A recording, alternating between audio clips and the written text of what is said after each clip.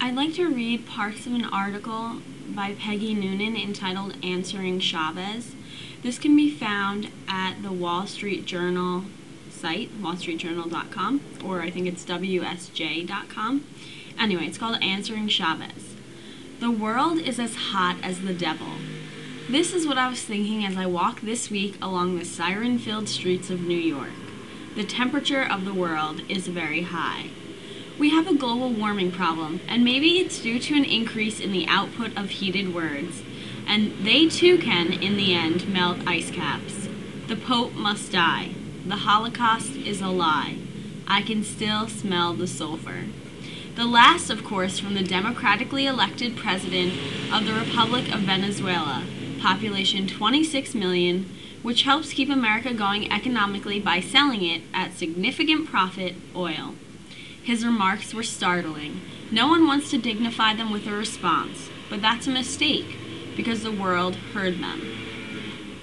Now I'm going to skip down. But here was Hugo Chavez Wednesday to the General Assembly. The pretensions of the American empire threaten the survival of mankind. The world must halt this threat. The American president talks as if he owned the world and leads a world dictatorship that must not be allowed to be consolidated. Bush will spend the rest of his days as a nightmare. The U.S. government is imperialist, fascist, assassin, genocidal, a hypocritical empire that only pretends to mourn the deaths of innocents. But not only the Middle East will rise. People of the South, oppressed by America, must strengthen ourselves, our will to do battle. That's not vague, she says. It's a call to arms. The right doesn't want to take him seriously, we don't need more problems, and the left doesn't want to see him clearly, we gave birth to that. But Chavez's speech achieved a great deal, and it is foolish to pretend otherwise.